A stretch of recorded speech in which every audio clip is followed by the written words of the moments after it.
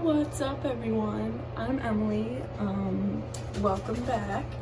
Um, so this video is something new. This is actually gonna be my skincare routine. It's really not related to Wesley at all, but this is just what I do in college. Um, I thought maybe some of you would be interested in it.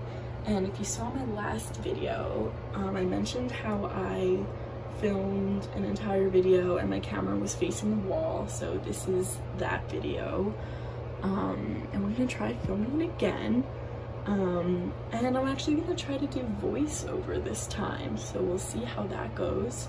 Um, yeah, those are my Christmas towels that my mom bought me. And then we have a Wes right here. Um, but yeah, so I hope you enjoy this kind of video. Okay, so first, here I am tying my hair back, of course. Um, I actually do a low ponytail or a bun just because if it's a regular ponytail, the hair will still go in my face. Um, and then next, I'm using this Neutrogena deep clean, kind of micellar water type stuff. um, this is just to take my makeup off, uh, my everyday makeup off, which is usually just eye makeup and sometimes some concealer.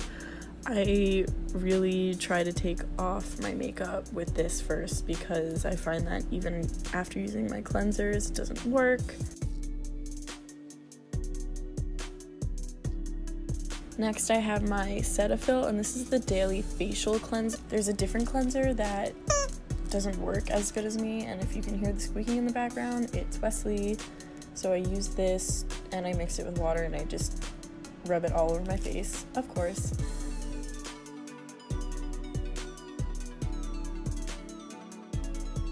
Next is my Dermalogica Daily Microfoliant. Um, my sister turned me onto this, and you put some of the powder in your hand and then you mix it with some water until it's like a paste.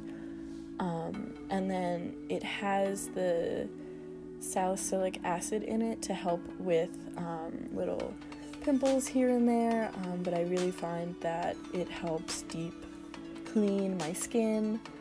Um, and then if you'll notice, there's some on my neck that I don't notice until the very end. Um, yeah, that's it for, with water. Then I take this Thayer's facial toner with, with witch hazel. It's super moisturizing and I feel like it just helps keep my skin balanced. I don't know, I don't break out as much when I am using it consistently and then we gotta let it dry. And I use the Ordinary um, serum. I forget the specific one I use. Here, I'm trying to get it focused, but I'll link it down below. Um, and I just put a little of this on my face and then rub and kind of pat it in.